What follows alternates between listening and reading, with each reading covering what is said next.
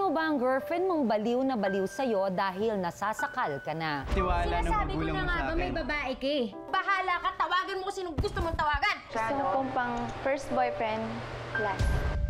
Tanong ko lang, Val, paano po ang pagiging masaya ng mahal mo eh hindi nanggagaling sa'yo? Kakayanin mo pa ba rin ba siyang mahalin?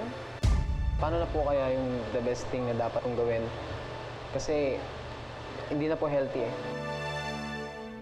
Ako po si Jean Garcia, kasama ko si Ronel Nick Abetsuela, 21 years old, isang dance instructor at ngayon ay pinoproblema po ang kanyang girlfriend na si Val. Nick, gaano na ba katagal ang relasyon niyo ni, ni, ni Val?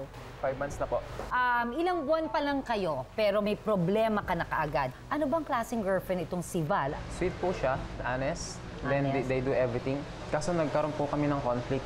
Sobrang selosa, po. Sobrang selosa. Sobrang selosa. Alam mo, ang pagsiselos kasi natural lang. Pero kung sobra na, eh baka masabihan kang nababaliw sa pag-ibig, di ba? Diyos ko, fatal attraction yata itong problema mo. Iho, sige.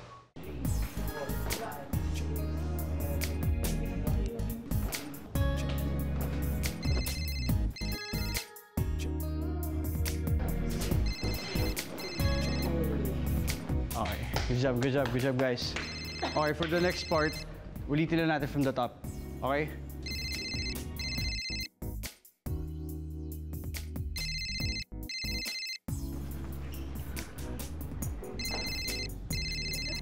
Wait lang guys, water break, water break. Oh, Val, an- an- may emergency ba?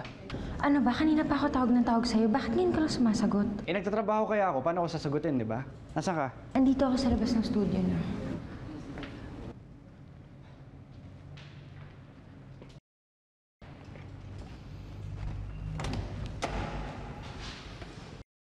Hi! Sige, okay lang. Nada ka. Rehearse na kayo. Okay lang. I'll watch. Tapos na water break. Game. Game, game. Isa pa. Bilis, bilis! Two, three, four, five, six, seven, eight. One, two, three, four, five, six, seven, eight. One, two, three, four, five, six, seven, eight. One, Teka, teka. two, three. Sandali nga, four, sandali nga. Ikaw babae ka. Layan mo nga yung boyfriend ko. Hindi ko gusto yung pagsasayaw mo eh. Masyado kang ano, pwede ba? Tigilan. Val. Ano yun? Sayaw, sayaw lang, okay? Sayaw lang. Ano, pinagtatanggol mo pa yan? Sa'yo eh kung lang, Val. makahawak, kala mo to namang, eh. ah, tigilan mo nga. Can you just stop this? Tara na, umuwi na tayo. Tara na, umuwi na tayo. Ano ba? Kunin mo na yung bag mo, tara na. Okay, sorry guys. Bukas na lang. Paka, paka. Nick, bilis! Bukas ha, walang man late.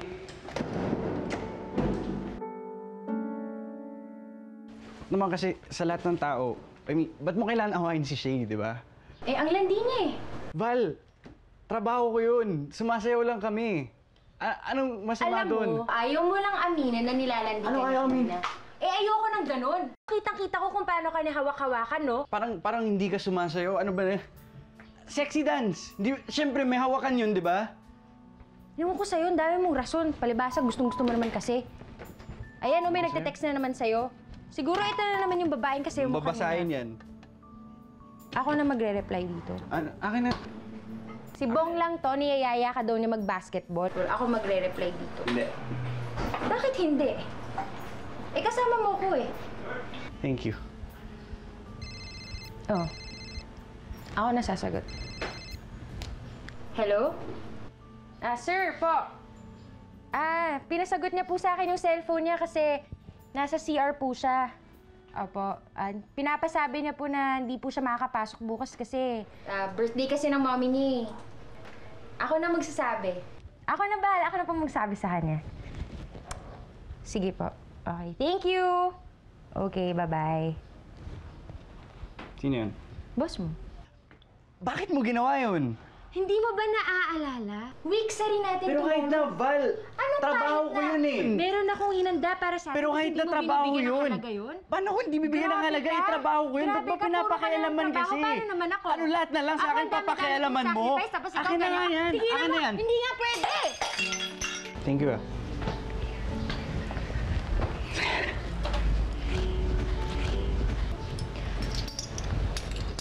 Huy, Hmm, bati na tayo. ano? Tinatanong kita, mahal mo ba ako? Oo. Kasi alam mo, malapit na yung week sorry natin. Eh, naisip ko na gusto ko pag binigay ko sa yung special gift ko, hindi ka galit sa akin. Diba? Pares, pero ano oras na rin kasi bale, alam mo, hatid na kita, may pasok pa Hindi, tayo. wait lang. Nag-usap pa tayo eh. Nick, hug mo ako. Kiss mo ako. Hmm. Kasi alam mo, malapit na yung week sorry natin. And I love you so much. Gusto kong maging special yun, kaya ready na ako mag-sacrifice for you. Alam mo, Val, Mm. alam kong mahal mo ako. At alam ko rin na alam mo na mahal kita. Pero hindi Okay. natin kailangan gawin yan. Anong hindi kailangan Kaya- gawin? Ayokong sinasabi ko na lang nga yung ba- tiwala ng sinasabi magulang ko mo na nga sa ba may akin. babae ka eh. Sinasabi ko, yung babae yun yung kasama mo kanina, no? Siguro, no? Ang daya mo talaga. Alam mo, bahala ka. Tawagan mo kung sinong gusto mong tawagan. Ewan ko sa'yo.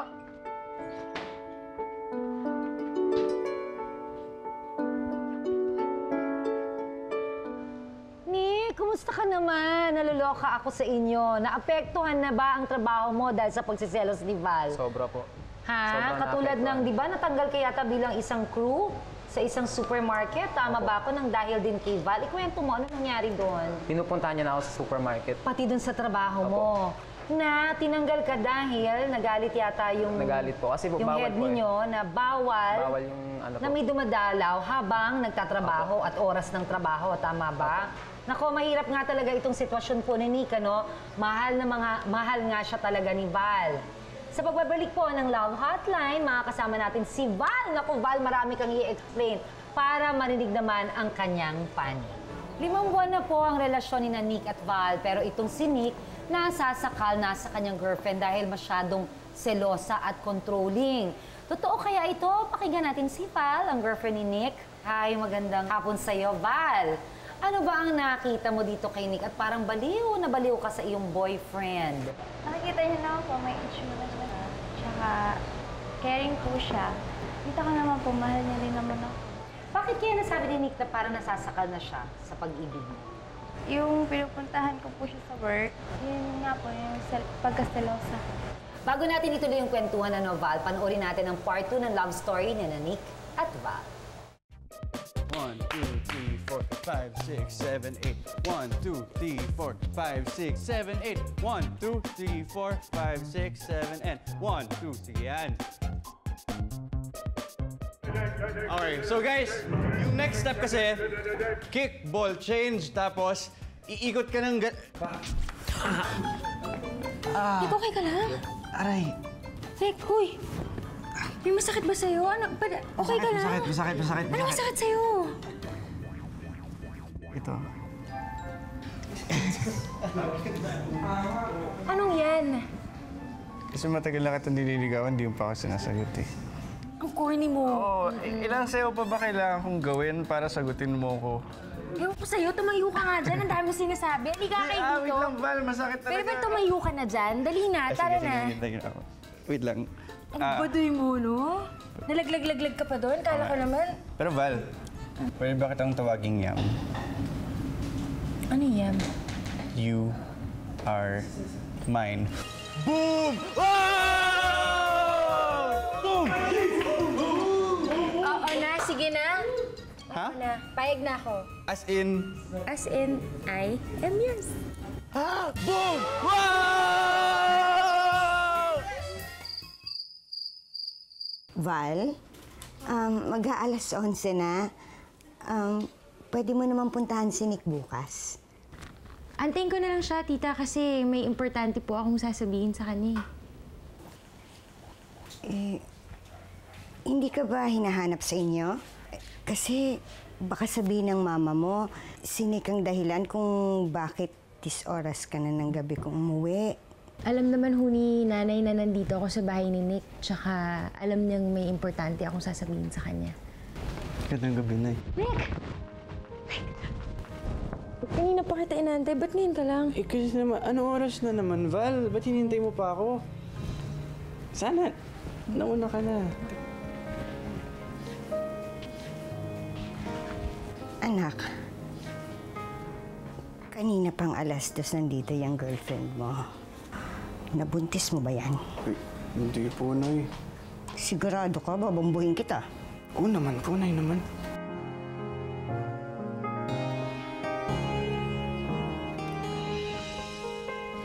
Ano ba sasabihin mo na nandito ka pa? Pwede ba, hindi ba pwedeng i-text mo na lang sa akin yun? Hindi, kasi naisip ko, mas maganda pagka personal. Ah, sige, ano yun? I love you. Tapos, Yun lang. Tsaka, yun eh. hmm, tsaka gusto ko ito makasama. Bakit? Hindi ba pwede? Alam mo, ano oras na kasi. Alam mo, susunod, Val, ako na lang pupunta sa inyo. Eh. Hatid na kita. Ay, ano oras na ginagabi mo? Kasi gusto mo na kita mas makasama. Sige naman na. Hindi ba pwede? Po, ayan.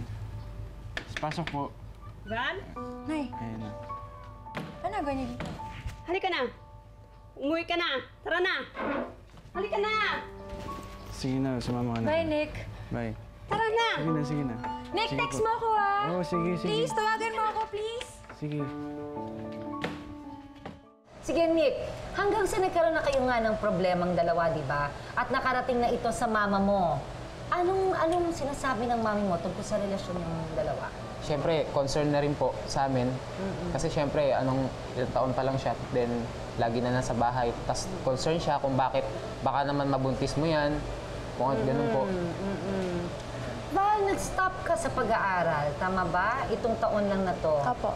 Bakit? Lagi po napapadala sa ako kay Nick. Sabi ni Mami, huwag ka na mag-aral, mag-boyfriend ka na lang. Sige, Nick, nabanggit mo na BI ka, bad influence ka kay Val. Yan daw ang opinion ng mother ni Val sa'yo. Totoo ba to? Opo, totoo po. Sa isang linggo po, halos 4 days, 5 days siya nandun, araw-araw. Kaya niya po siguro nasabing bad influence kung ano pong iniisip niya pag magkasama kami Nick. So, ina-explain ko po kay Mami, ano po siya. Kaya lang po hindi ako pinapakinggan ni Mami. Nick, sa pre-interviews namin sa'yo, no, ah, nabanggit mo na this relationship is abnormal na. Bakit mo nasabi yon? Iba na po eh. Iba na yung situation namin ngayon. Hindi katulad dati, obsessed. OA na, obse... Ano ko ha, sa'yo nang galing yan ha. Sobra naman obsessed. Hi, Nick! Ano kaya ang gusto mo mangyari? Sa pagbabalik po ng Love Hotline, makakasama natin si Miss Aiza Tabayoyong upang tulungan ayusin ang love story ni na Nick at Val. Dapat na ba nila itong tigilan dahil nakakaloka itong si Val? O bibigyan pa ng isang pagkakataong maayos? Ito po ang Love Hotline. Kasama natin sa kwentuhan si Aiza Tabayoyong, ang ating love expert. Miss Aiza, magandang, hapon. Yes, Miss Aiza, paano ba natin sila matutulungan? Okay. So, ang pagkakaalam ko, Val, dati kang nagno-nursing, no? Opo. So, alam mo tumingin ng mga simptomas ng sakit. Palagay mo, ano, ano na ang health ng inyong relationship ngayon? Complicated na po. Parang nilalagnat na siya. So, palagay mo ba kailangan ng gamot o pabayaan lang natin? Kailangan po ng gamot. Kailangan na natin gamutin. Anong klaseng lakas or kalusugan ba gusto mo sa relationship yung dalawa ni? Yung wala po sa akin, yung tiwala. gusto mo magkaroon ng tiwala Very kay good. Okay. Para ang inyong relationship ay maging malusog na malusog. Sana ideally kung kakayanin, mag, maging pangmatagalan kasi first boyfriend mo siya, Gusto no? pong pang first boyfriend, last. So tingnan natin kung anong vitamins ang pwede nating ibigay para sa kanilang dalawa.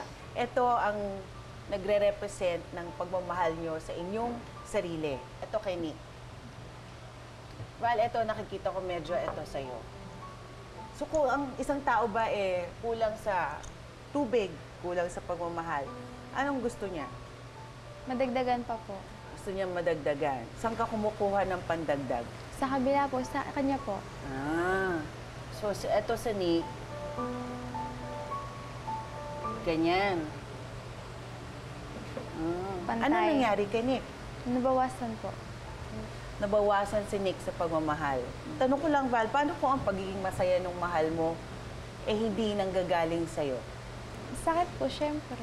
Masakit. Pero Kakayanin mo pa ba rin ba siyang mahalin? Hindi ko po alam. Ideally, ito yung partner natin, kung puno siya ng pagmamahal at puno siya sa sarili niya, at ikaw medyo kulang, kukuha ka na ibang pagkukuhanan. So, pwedeng sa pamilya mo, sa mga kaibigan mo. Kasi siya rin eh, mukhang puno siya ng pagmamahal sa pamilya niya. So, ang suggestion ko sa'yo, so ang tawag natin dito, sarili mong love tank, love tank ni Nick, love tank mo, hahanap ka na ibang magpupuno sa'yo, siguro kahit sa'yo namang galing. Pagpapakita ng respeto sa sarili. Yun po yung punta ng punta sa bahay ng lalaki. Hindi masyadong magpupunta sa bahay. Ano pa? Pagmamahal po sa pamilya. Very Pagmamahal good. sa pamilya, paggalang sa pamilya. Gusto ko pong ipagpatuloy po yung pag-aaral ko next year. Pagpatuloy ang pag-aaral, palaguin ang sarili. So pag ganyan ang inyong partnership, hindi ba mas healthy? Opo. So magpalitan man kayo, papalitan ka rin niya, Pareho kakayahan mapupuno. kayo magpalitan at hindi kayo parehong kalahati lang ang laman. So the more full you are, the healthier yung inyong pagsasama at inyong relationship. Niet, ikaw meron ka bang gustong itanong kay Miss Aiza? Paano na po kaya yung the best thing na dapat namin, na dapat kong gawin? Kasi hindi na po healthy eh. Ako, hindi ako sumasagot ng ganyan tanong, pero magtatanong din ako sa'yo. Yan bang relationship nyo ay, number one, masaya pa? Yan bang pagsasama nyo, partnership nyong ganyan, eh pareho pa kayong lumalago? Or nag-uubusan kayo ng inyong mga pagiging pagkatao? Ngayon, ano po ang desisyon ng kanilang mga puso? Para kay Val muna, go ba ang relationship o stop muna ang relationship? Stop ko po muna. So siguro stop muna para ano? Ano ang gusto mong gawin muna ngayon? Yung ano po, sa, yun nga po, yung sa family ko, yung sa mga friends ko. Minsan kasi sabi ng friends ko, ah, yung boyfriend mo na lang lagi, simula na nagka-boyfriend ka, hindi mo na kami sinasamahan. Yung ano po, Pag-aaral mo? opo, yung pag-aaral. Anong gusto mong mangyari sa pag-aaral? Babalik ka? Opo. Kausapin mo si Nick. Meron kang gusto sabihin sa kanya? Ito na ang pagkakataon. I-stop ko muna yung relationship natin kasi over na, di ba? Hindi magandang tingnan kasi babae ako. Ngayon ko lang na-realize lahat yun kasi mahal nga kita. So, sorry. Naiintindihan ko naman yun eh. Ang akin lang, bigyan mo ng time yung sarili mo. Kasi bata ka pa, bata pa tayo eh. Uh, thank you sa pinakita mong pagpapasensya sa akin kahit, yun, gulong-gulo ko na sa akin kasi sobra na ako. Sorry. Mm, Lahat ng dahil sa akin. Naiintindihan naman kita eh. Ayusin mo lang. Gusto ko makatapos ka rin ng pag-aaral eh. Wala naman akong ibang hinangad eh. Kundi, di ba, mapasaayos ka rin. Maraming maraming salamat sa inyong pagtitiwala, Val and Nick. Ang dami na maging masaya kayo at magawa ninyo yung mga dapat niyong gawin. Hindi ba? Miss Aiza, maraming maraming salamat po. Thank you. Mga kapuso, tandaan natin, ang selos daw ay sign na alam mong maaaring may ibang makapagpapaligaya sa iyong mahal. Imbes na magselos at magalit, ipakita nyo kung ano ang halaga mo. Sana po ay na-inspire kayo at may natutunan sa episode namin ngayong hapon, pati na rin po sa mga kapuso nating nanunood.